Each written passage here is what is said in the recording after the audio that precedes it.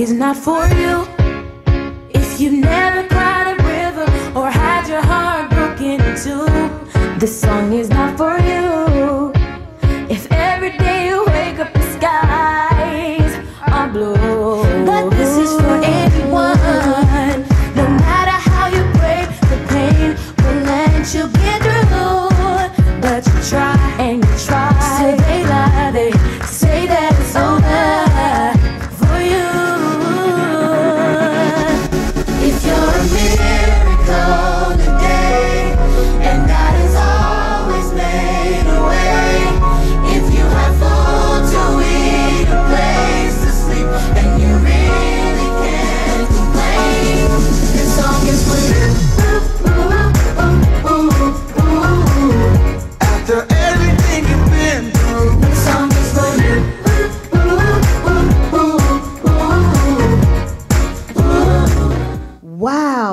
power of one. Let's give our eighth graders a hand. Didn't they do a great job?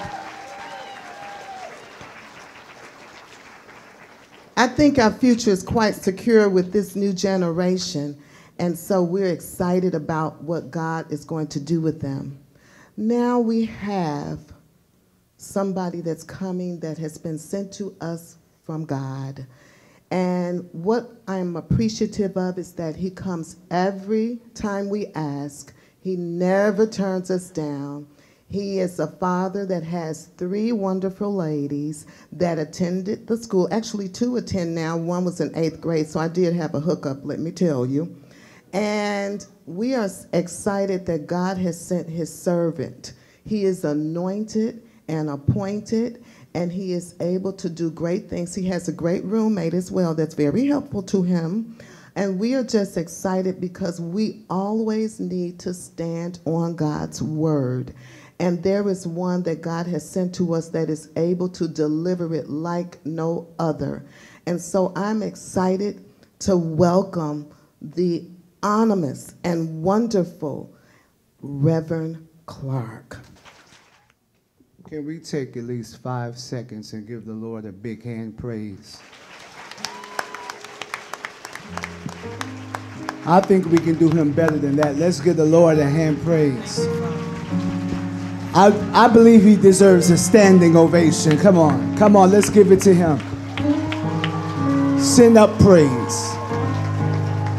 Come on, children of God, send up praise. Don't stop clapping, don't stop clapping. Isn't he a good God? Isn't he a gracious God? Isn't he a merciful God? Woke you up this morning, started you on your way, gave you the activities of your limbs, allowed you to comb your own hair, brush your own teeth. Let's give it up for him five more seconds. Yes, Lord.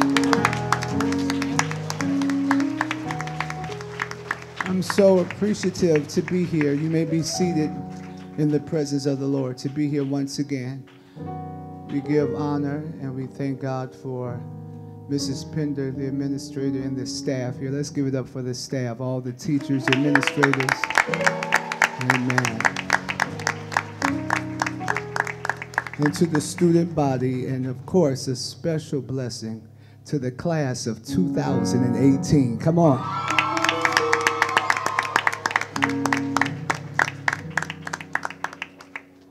I would like briefly to talk to you about a very important parable that's in the Bible. It comes from Luke 15. It's a story that have five characters. There's two sons, a father, a citizen from a far country, and it's a fifth character that is not expressed, but I believe is implied which is the presence of a wooing, growing, lusting enemy, the devil, who is never satisfied until he wreaks havoc in the family of God. In this parable, the younger of the two boys, he gets his portion of goods that belongs to him, and the other gets his portions of good that belongs to him. One got the blessing and stayed at home. The other got another blessing that drew him away. When I look at that parable, I wonder can we stand to be blessed? Can we really handle the blessings of the Lord? I believe for some of the senior saints in the back, if we had all the money that we needed, I wonder would some of us even be in chapel this morning? I wonder would you be somewhere on your boat, somewhere traveling, if we had all the blessings that we think we need from the Lord. But when you look at this parable, go home and read it, Luke 15. I believe it's misunderstood. Because many people believe that this son, the younger, left the house because he was greedy. They believe that he left because he was too uh, mind headstrong to want more. He did not leave the house because he was greedy. He left because he was broken. He wasn't deprived. He had influence. He was born with a golden spoon in his mouth, like some of you all. He grew up on the better sides of the tracks. He lived in the suburbs. He had, had, he had servants, he had maids, he had butlers. He had influence and affluence. He was well to do. He was very prestigious. Why would he leave a house that was full of all of this influence and blessing? But it was the wooing effect of the enemy. He didn't go to his father to improve his living circumstances because it wasn't necessary. So you must agree with me, we, we're not dealing with greed. We're not dealing with lust of power. We're not dealing with someone that wanted to go to another bigger house. We're dealing with this nagging, wooing spell of the enemy, which caused him to leave his house of blessings and become restless. He was willing to give up what was concrete for abstract. He was ready to give up something that was genuine for something that was false. He was ready to give up the real character for a cartoon.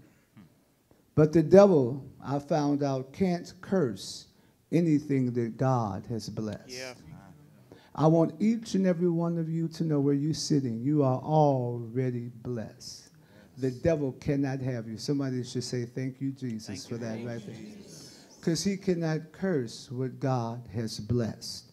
And don't get it twisted. Don't think you're blessed because you got the latest Jordans. Don't think you're blessed because you got weave to achieve. Don't think you're blessed because you got a large home and your family got large automobiles. Don't think you're blessed because of that. Don't think you're blessed because you can go to Red Lobster and eat all the shrimp. No. Know that you're blessed that you can digest the shrimp. You know that you're blessed because he woke you up this morning while others slept and never woke up. You're already blessed. Now, this devil, this trickster, this one that comes after all of us, he tries to bring us out of our place of safety. And if you're not careful, Calvary, you will begin to walk in a restless spirit. What is a restless spirit? I hope this is not any of you. Nothing makes you happy. You have a problem with every teacher every year. I don't hear no amens. You don't like anything your parents fix for you. You don't like the breakfast they gave you, so you pack your lunch with flaming hots. Mm. You don't like the lunch they prepare for you. You you spit out the dinner, you hide it in the plant pot. Mm. Nothing pleases you. No one in your classroom you like. You play alone. You get angry alone. Be careful that you don't walk into this restless spirit. Because when you get this type of spirit, you have a runaway spirit. You don't like no one. Everything makes you upset. Some of y'all in the back, you're not happy with your marriage. You're not happy with your job. You change jobs every three months. A restless spirit. And this enemy is trying to woo you out of good friendships, out of good connections. He's trying to woo you. And don't you think just because you live in the suburbs, the devil is not after you. Don't you think because you make six figures in your income that the devil is not trying to get you. Don't think because your precious little babies up here look just like you and your parents that the enemy is not trying to come after you. He's coming after us all. No matter what age you are, he's looking for you to deceive you. He's begging you. Listen to the wrong music. Keep on listening to things that turn you away from God. He's after all of us. He gets into our dreams. He makes you so angry with everything that's given to you for direction or for correction. He's after us all, from the youngest to the oldest. He's telling you, come with me. Lie, steal, cheat on your test, disobey your parents. Come with me. Come away with me.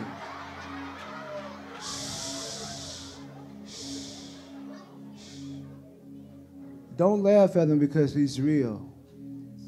He wants you to come out of the place of safety, like this young lad in our text.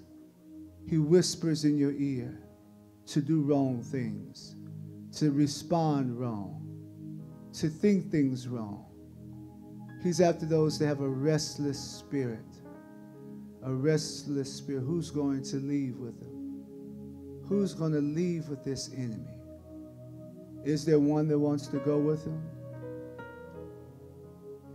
Is there one that would be a candidate that would leave out with him? Is there one that will walk away from everything God has blessed you with to move on the pattern that the enemy is setting? He comes to kill, steal, and destroy. This young kid left his father's house because the enemy tricked him to come out of the place of blessing into a place that will cause him destruction. Who will leave with him? Who will follow his ruin? Who's going to be convinced how the Lord has blessed you is not good enough?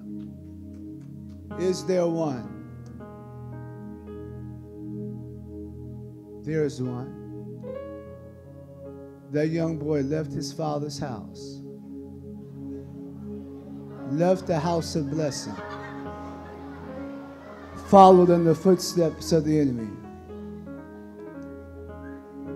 comes from a blessed house. He got wooed away. And what happened when he got away? Attention up here, please.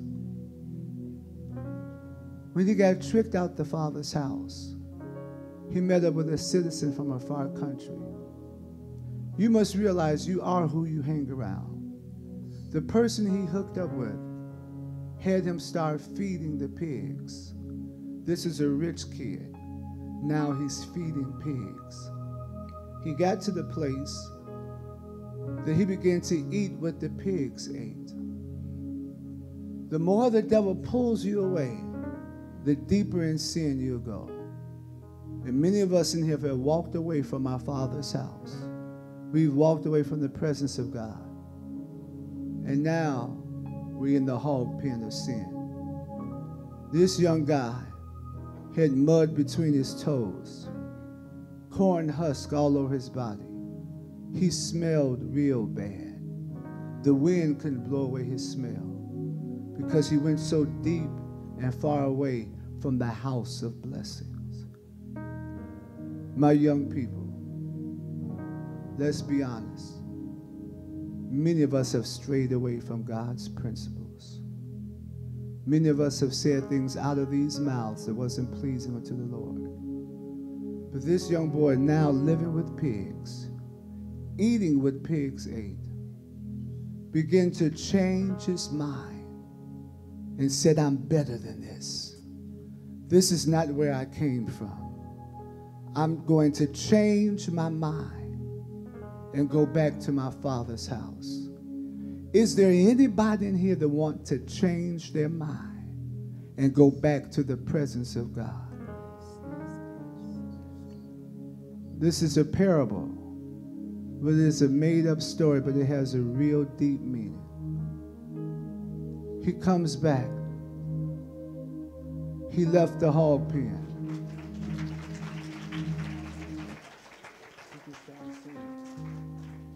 He comes back. He comes back. He doesn't sit down. He comes back. He comes back. See, we get tricked sometimes. We want to sit down. No, he comes back. The Bible said while he was afar off, his father ran and saw him. Notice he was stinking. Notice he had mud all over him. He called for his staff. He didn't give him a bath. He didn't scrub him down. The Bible says the father sent for them to get a robe to cover him. And I don't know about you this morning, but I'm glad God covered me. Yes. I was filthy in sin, but he covered me. The Bible said they put a ring on his finger, which represents divine authority. Isn't it good to know no matter what you have done against the will of God, he'll cover you. All of the wrong things you've done before this chapel, he's here this morning to cover you. Is there anyone here that wants to be honest that I messed up? I walked away from the Father's presence. But I want to come back to Him. If that's you, stand to your feet.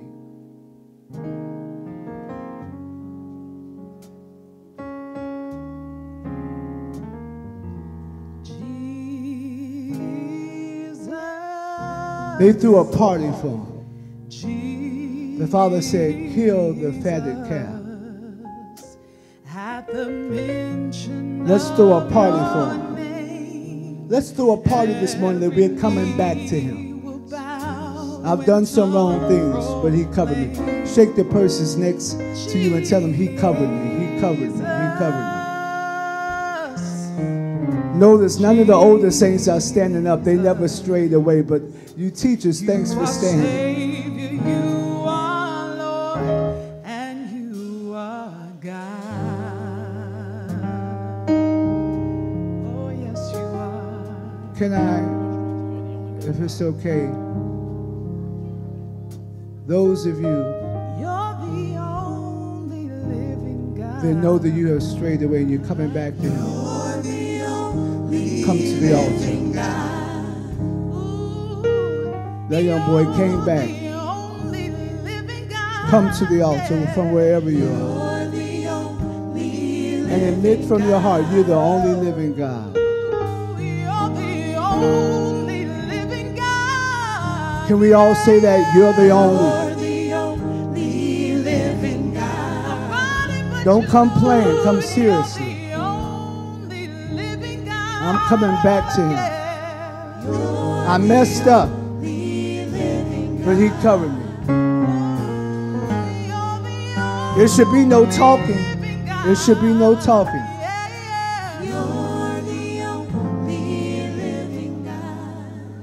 Right here. This is not a joking session. Listen to me. Young girl. This call is for those that have know they have messed up. They've walked away from biblical standards. You've been in the hog pen of sin. But you say, I'm coming back. The truth of the matter, every single one of us should be up here. Because if it had not been for the blood of Jesus, we all would be lost.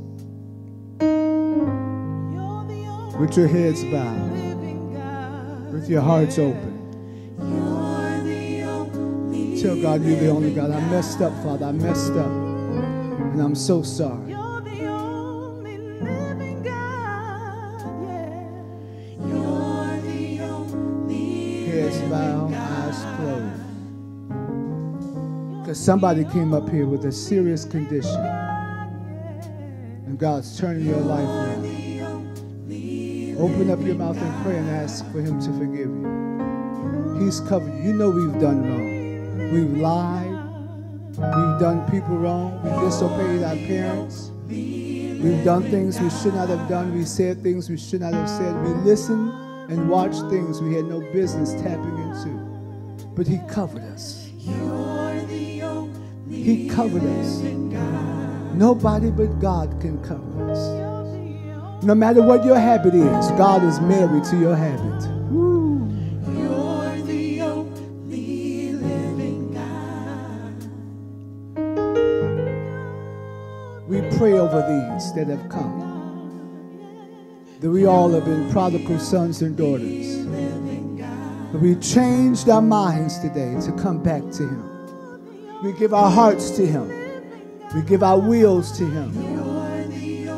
The only one that can, can forgive us, is strong and powerful that we need is Him. He's the only.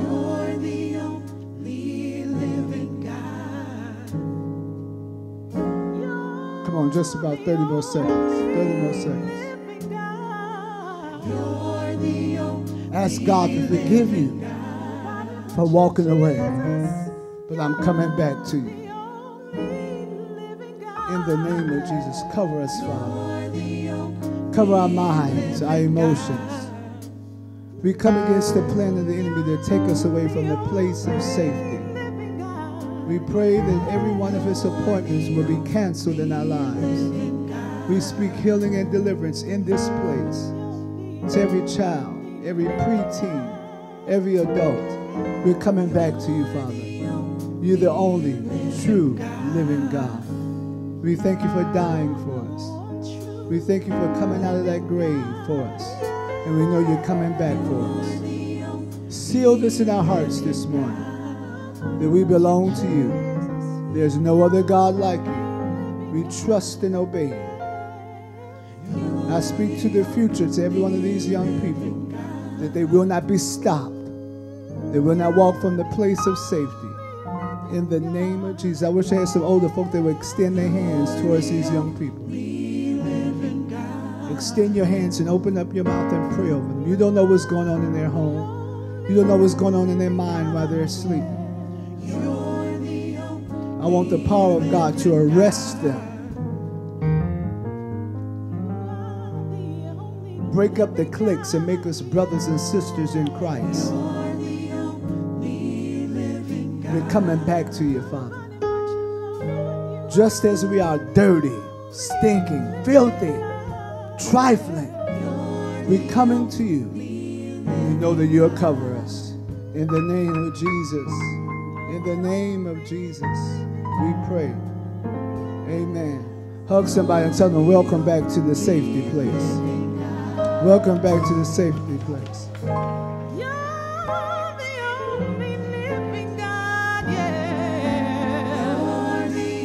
Welcome back to the yeah.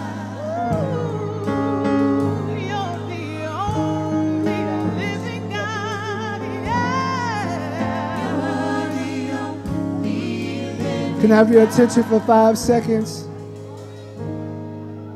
Five seconds. Remember, there was an older brother that stayed at home. He got mad because he heard this noise. He said, What, what is this noise? It was a praise coming from the people that he came back home. There should be a praise in this room that we've come back to him. Are you ready to give him praise? No matter what you have done, I'm coming back to him. On the count of three, we're going to give God the best praise that we can. One, two, three. Come on, let it go out of your mouth.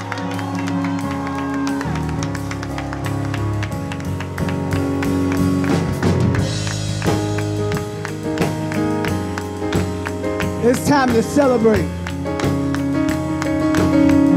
That means your sins have been covered and washed away. Anybody excited?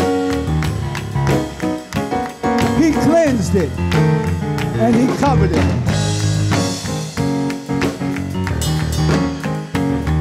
Anybody know they done wrong, but they're forgiven? I'm forgiven. I'm covered. I'm covered. Go to three people and say, I'm covered. I'm covered. I'm covered. Go to three people. Talk to them. I'm covered. Don't let nobody pull you out. Tell them I'm covered. Put those hands together. Put those hands together. Celebrate life.